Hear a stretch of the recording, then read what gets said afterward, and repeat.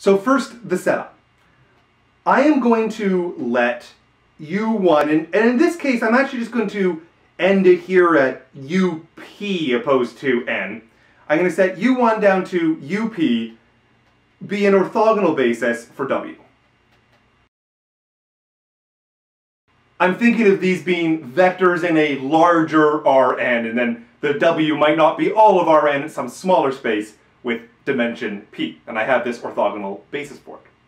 And then I'm going to assume that this, this W that we have here, that's a subspace, is going to be indeed a subspace of a larger Rn. So it might be only p-dimensional, but it's living inside of Rn.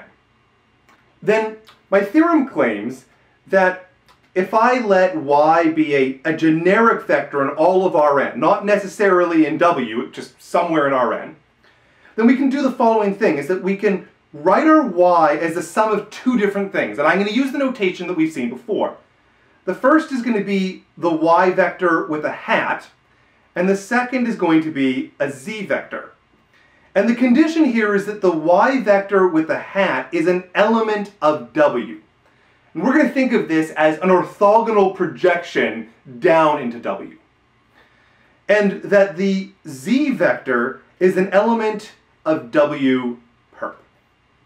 That is, every vector can be written as the sum of two other vectors, one in the subspace and one in W perp. That is what the decomposition theorem is going to say. The orthogonal decomposition decomposes the vector as to something in W and something in its orthogonal complement. So this is the statement of my theorem. Now before I prove this, I want to sketch a specific example so that I can have a little bit of intuition as to what's going on here. So let me suppose that I've got the coordinate axes, my x, my y, and my z axes, and that I have some particular vector here, and in our terminology we're calling this the vector y. Then what I'm going to think about as my subspace U is that this is going to be the xy plane and it's got two different vectors. There's going to be my u1 and there's going to be my u2. So in this case, my w is going to be the xy plane.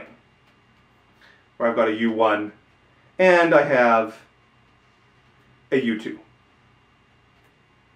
Now, what I can do with this vector is I can imagine doing the orthogonal projection down here onto the xy plane, and that what I'm going to have is some vector, if I orthogonally project it, lives in the plane. The idea is, imagine this is your xy plane, and I have some vector here. Its orthogonal projection is some other vector lying in this plane. So that's what I'm referring to. This vector that I have sketched out here this is going to be my vector, y vector with a hat, the orthogonal projection.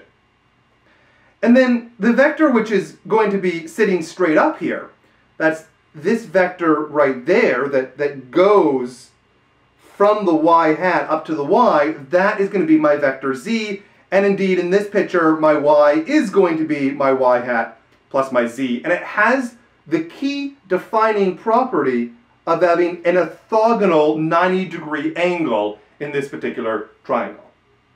So when I have my plane and I take a generic vector, I can always write it as a vector in the plane and then a vector sitting straight up where all of the vectors sitting straight up are the orthogonal complement to the vectors lying inside of the plane. So that's sort of the general picture that I'm going to work with. All right, so now let us go and try to prove this particular claim.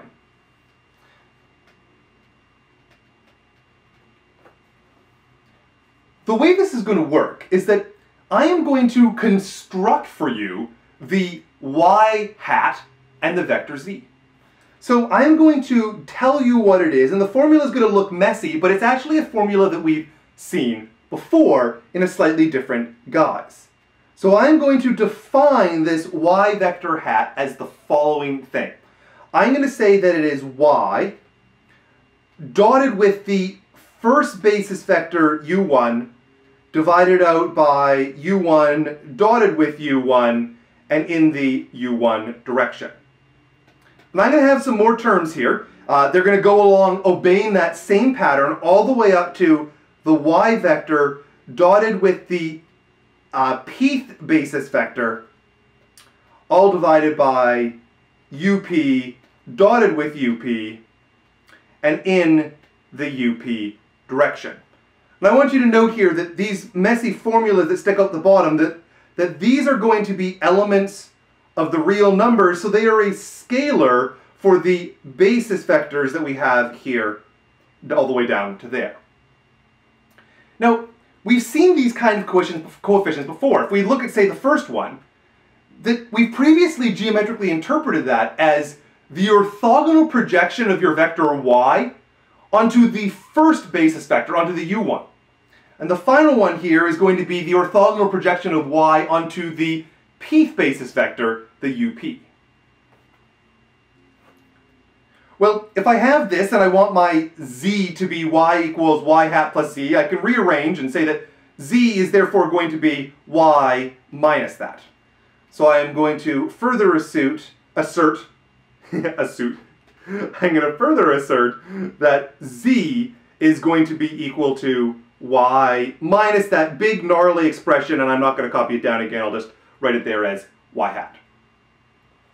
Now, what is my theorem saying? I, have defined these two vectors, but do they satisfy the conditions of the theorem? But the theorem tells me that in particular the y hat is in w and the z is in w perp. It's clear by our definition that they add together in the right way because we just define z to be the difference. So clearly they add up to y, but, but do they obey those two properties? That's the key question. Now one of those two is, I'm going to claim, straightforward. Namely, the y hat is going to be clearly inside of w. Why? Well, each of these basis vectors, the u1 down to the up, are in w. That was by definition, it was a basis for w. So this is a linear combination of the basis vectors in w that is clearly in w. But the question is then, this is what I'm, I'm left to, is, is it the case that my z is an element use the element symbol, of W perp? That is our question. Well, how would we know that? It would have to be that the z vector is going to be dotted with any vector in W equal to zero. Or, as we saw previously, an equivalent property is that z dotted with ui is equal to zero.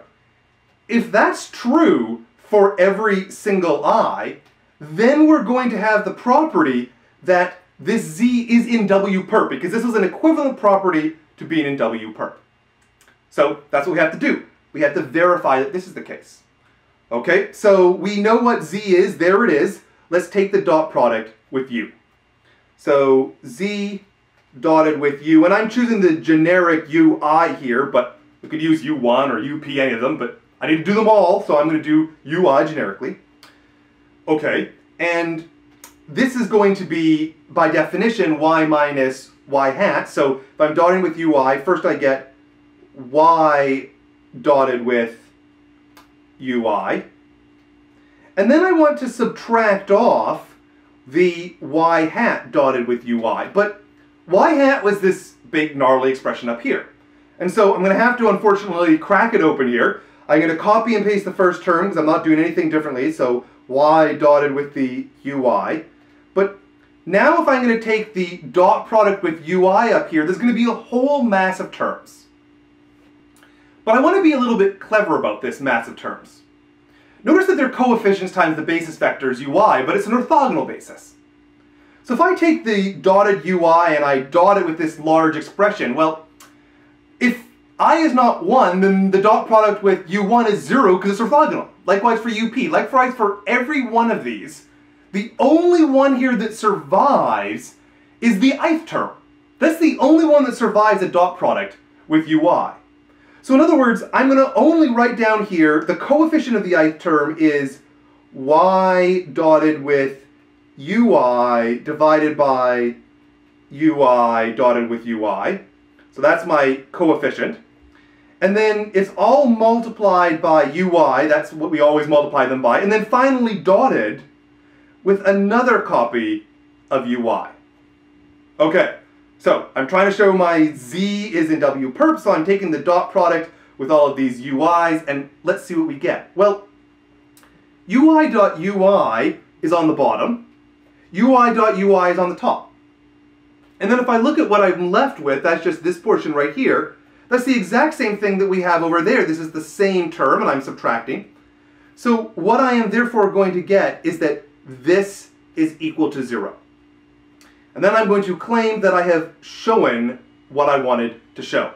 Namely, if I zoom out here, the theorem was that I could take my y and I could write it as the sum of two things, one in w and one in w perp. And then what we did when our proof was we defined this, this w hat here. It was clearly in w. We defined our z, and then we had to do a little bit of work to show that z was in w perp because the dot product of z with any of the orthogonal basis vectors was equal to zero. I want to note one final thing that I will leave as an exercise, and it is this.